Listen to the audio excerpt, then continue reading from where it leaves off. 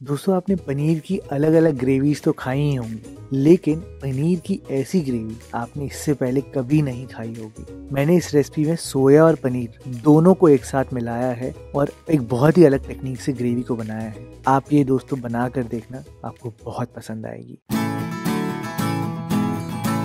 Hello दोस्तों, मैं हूँ भरत। आपका स्वागत है भरत किचन हिंदी में। तो फिर देर किस बात की? चलो, फिर शुरू करते हैं।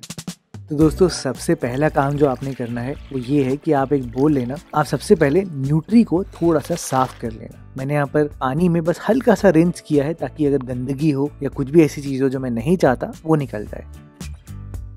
फिर आप पानी का एक बेस बनाना, यानी कि गरम गरम पानी में आपने नमक, हल्दी, कश्मीरी लाल मिर्च डालनी है, और इसको अच्छे से आप मिला देना। और इसमें आप डालना वो जो धुली हुई न्यूट्री है, यानी कि आपने इसमें भिगाना है।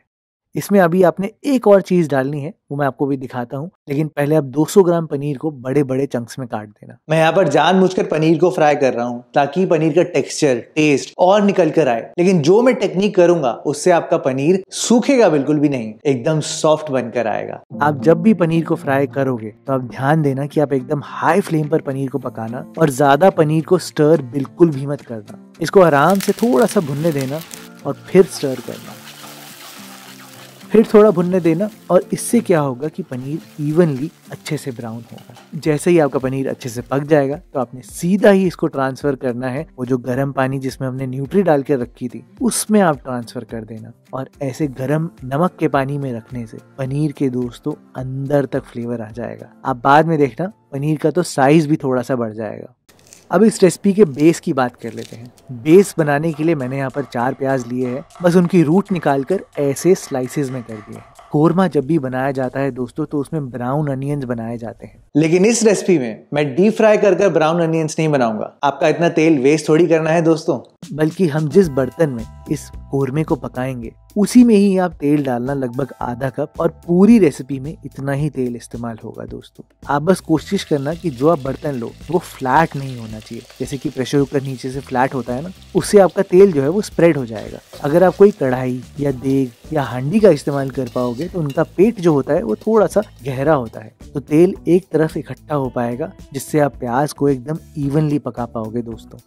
और ध्यान रहे जैसे ही प्याज में कलर आना शुरू होगा ना वैसे ही आप हाई फ्लेम से गैस को लो फ्लेम पर कर देना। क्योंकि प्याज की जो ये ब्राउनिंग होती है ना उसको आप इवनली कंट्रोल नहीं कर पाओगे। इतने कम तेल में जब भी आप अच्छे से फ्राई करने की कोशिश कर रहे हो तो आप इसको बार बार ज़रूर चलाना ताकि एकदम इवनली कोट हो और आपको ऐसे प्याज मिले। फटाफट से मैंने इनको टिश्यू पेपर पे निकाल लिया है और ये बहुत ज़रूरी पॉइंट है कि आप इनको अच्छे से ठंडा होने दो, ताकि जितनी चीनी है, जो सुक्रोस है प्याज में, वो अपना फ्लेवर छोड़े, ताकि प्याज और भी मीठा निकल कर आए और उसकी कुकिंग एकदम कंप्लीट हो। और क्वेश्चन तो ये आता है कि प्याज को इतना भुनना ही क्यों है? बिरिस्ता बनाना ही क्यों है? उसे होगा क्या? दोस्तों, क्या होता है कि प्याज की जो सुक्रोज है, जब उनको कैरमलाइज करते हैं तो बिल्कुल अलग ही एक मिठास निकल कर आती है, जो की दही की खटास को और मसालों के फ्लेवर को अच्छे से बैलेंस करती है और तभी वो यूनिक फ्लेवर निकल कर आता है। अब मैंने यहाँ पर 200 ग्राम दही का इस्तेमाल किया है और दही को मैंने सपोर्टर ज़रूर दिए हैं। दो बड़े चम्मच मैंने धनिया पाउडर के डाले हैं और दो छोटे चम्मच मैंने गरम मसाला का डाला है।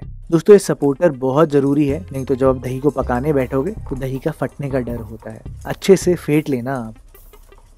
वैसे तो कौरमे में टमाटर का यूज़ नहीं होता लेकिन मैंने यहाँ पर जानबूझ के टमाटर डाला है। हाँ लेकिन ध्यान रखना यहाँ पर आप देसी टमाटर मत यूज़ करना। देसी टमाटर भी खट्टे दही भी खट्टी तो रेसिपी सही बैलेंस नहीं हो पाएगी। मिक्सी में टमाटरों के अलावा एक पूरी कली लहसुन की आप डालना उसके साथ साथ दो इंच तक अदरक मैंने यहाँ पर डालकर एकदम फाइन पेस्ट बना लिया है। और पीसते वक्त ज़्यादा पानी बिल्कुल मत डालना। ज़्यादा पानी डालोगे तो भुनने में उसको उतना ही टाइम लग जाएगा दोस्तों। तो ध्यान रखना इस बात का आप फटाफट से चलते हैं पकाने के लिए। मैंने उसी देग में जो तेल बचा हुआ था, जिसमें प्याज का पूरा फ्लेवर है, उसी में ही ये सारे खड़े गरम मसाले डाले हैं। स्क्रीन पे मैंने सारे लिखे ही है। मसालों के साथ ही आप यहाँ पर टमाटर, अदरक, लहसुन की जो हमने प्यूरी बनाई है फ्रेश, वो आप यहाँ पर डाल देना। और टमाटर आए हैं तो आप नमक कैसे भूल सकते हो? नमक ज़रूर डाल देना साथ साथ कश्मीरी लाल मिर्च लाल मिर्च और हल्दी, ये भी इसी टाइम पर डालना, ताकि अच्छे से एकदम इक्वल बुनाई हो। अब रही बात कि मैंने टमाटरों का यूज़ ही क्यों किया है इस रेसिपी में? दोस्तों, टमाटर एक बेस देंगे, क्योंकि इस रेसिपी में जो कोर इंग्रेडिएंट है, उसका इतना स्ट्रॉन्ग फ्लेवर नहीं है। तो उसको एक सपोर्ट की ज़रूरत है। टमाटर यहाँ पर उमामी फ्लेवर भी ला कर देंगे, और क्योंकि हमने देसी ये टमाटर नहीं यूज़ करे हैं तो वो खट्टापन भी नहीं देंगे। खट्टापन तो आपको दही देगी। बस अब टमाटरों को अच्छे से पकाना, जब तक कि उनसे तेल अलग नहीं हो जाता, और जब तक सारा पानी रिड्यूस नहीं हो जाता। ये देखो, इस स्टेज तक। फिर आप यहाँ पर दही डाल देना, वो जो मसालों के साथ हमने डाली थी, और अब गैस को एकदम लो फ्लेम पर कर देना, ताकि आप दही को अच्छे से पका पाओ। मैंने थोड़ी सी फ्रेश कटी हुई हरी मिर्चें भी डाल दी हैं, और देखना ये फ्रेश कटी हुई हरी मिर्चों की खुशबू भी आपको आने लग जाएगी जब आप पकाओगे। अब आपने तब तक पकाना है जब तक कि तेल अलग नहीं हो जाता ऑब्वियसली तब तक पकाना है। लेकिन ध्यान से अगर आप देखोगे ना तो ये जो ग्रेवी है, ये दानेदार होने लग जाएगी। ये देखो आप। इस स्टेज तक आपको पकाना है। इसको आप दानेदार बनाना, लेकिन दानेदार बनाने के चक्कर में जला मत देना। आराम से कुकिंग करना। जैसे ही दानेदार होने लग जाए तो आप सोया वड़ी से सारा पानी एक्सट्रैक्ट कर लेना। अच्छे से स्क्वीज करके निकाल लेना और फिर इस मसाले के बेस के साथ डाल देना। सोया वड़ी अगर आप बाद में डालोगे तो वो पानी पिएगी, लेकिन फ्लेवर नहीं पिएगी। लेकिन अगर इस टाइम पर डालोगे तो वो थोड़ी सी भुनेगी भी और उसके अंदर तक फ्लेवर जाएगा दोस्तों। न्यूट्री डालने के बाद एकदम से अगर आपका तेल गायब हो जाए तो घबराना बिल्कुल भी मत। आप आराम आराम से पकाना। लेकिन सोया वड़ी पकाते वक्त। एंड में मैं आपको एक चीज़ ज़रूर बताऊँगा जो की बहुत इंपॉर्टेंट है। तो रेसिपी आप ध्यान से देखना। अच्छे से आप लगभग तीन से चार मिनट पकाना और इतनी देर में आपके प्याज भी अच्छे से कड़क हो जाएँगे। तो मिक्सी में प्याज के साथ साथ थोड़ा सा सूखा नारियल और मैंने यहाँ पर काजू भिगा के रखे हैं। वो भी मैंने डाल दिए हैं और थोड़ा सा पानी भी जाएगा और इसका मैंने एकदम फाइन पेस्ट बना लिया है। और इस बार आप पानी डालकर मिक्सी से सब कुछ निकाल सकते हो, क्योंकि दोस्तों प्याज तो ऑलरेडी भुने ही हुए हैं। हमें अब सिर्फ़ बैलेंस करना है इस रेसिपी को। बस अब आपको ज़्यादा देर नहीं लगेगी, क्योंकि प्याज अच्छे से पके हुए हैं, दही, टमाटर तो बहुत अच्छे से पके हुए हैं। तो अब आप यहाँ पर पनीर भी डाल सकते हो। पनीर भी अपने अंदर सारा फ्लेवर एब्जॉर्ब करेगा और थोड़ी देर और पकाने के बाद ही आप यहाँ पर अब थोड़ा सा गर्म पानी डाल देना। अब सिंपली आपको यहाँ पर ढक्कन लगाना है, गैस को एकदम लो फ्लेम पर रखना है और 10 मिनट तक आराम से इसको पकने देना है। पनीर के अंदर, न्यूट्री के अंदर और ग्रेवी का जो बैलेंस है, सब बहुत अच्छे से हो जाएगा दोस्तों। अंदर तक टेस्ट आएगा, बस ऐसे पकाने से। और 10 मिनट बाद जब आप खोलोगे ना तो आप ये लास्ट की चीज़ें कर लेना।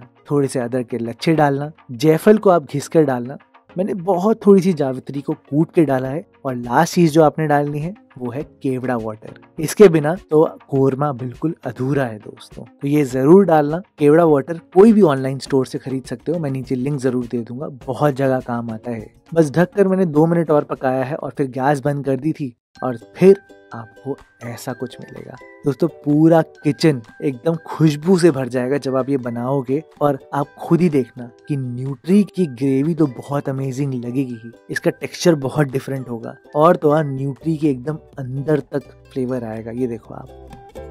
तो ये अंदर तक फ्लेवर लाने के लिए दोस्तों, आप ये ज़रूर करना कि आप गैस बंद करने के बाद न्यूट्री को इसी ग्रेवी में थोड़ी देर तक पड़े रहने देना, लगभग 10 से 15 मिनट। अगर आप गरम गरम सीधा ही गैस से सर्व कर दोगे तो न्यूट्री होगी थोड़ी सी हार्ड लेकिन यही आप थोड़ी देर बाद रेस्ट करके करोगे ना तो एकदम सॉफ्ट निकल कर आएगी। तो है ना दोस्तों, एकदम अनोखी बात। और अनोखी बात हम कर ही रहे हैं तो आप ये पनीर दो प्याजा की रेसिपी देखना। इसमें तो हमने मिक्सी का यूज़ ही नहीं किया है, लेकिन तब भी एकदम परफेक्ट ढाबा स्टाइल बनाई है। वो कैसे? उसके लिए आप ये वाली वीडियो देखना, आपको बहुत पसंद आएगी।